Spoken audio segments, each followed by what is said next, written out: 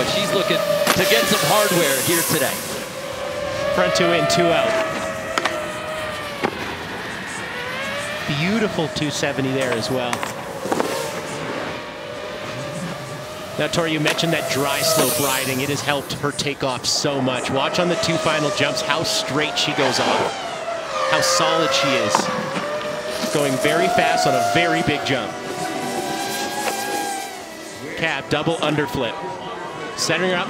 I'm thinking backside rotation, 10, 12.